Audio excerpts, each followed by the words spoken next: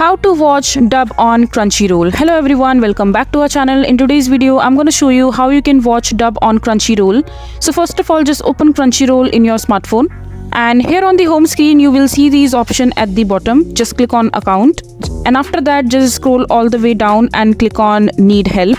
Just select your browser and after that on the search bar just search for dub just click on dubbed content faqs and here you will find how you can watch dubbed content. And so dubbed content will contain a dubbed or subtitle related content and in which uh, tag will display by its thumbnail when searching for it so in order to locate dubbed content through browsing, you may utilize filter to browse only those series which have dubbed version. Please note that this will be shows show a series with any dubbed version. This may not include your preferred language.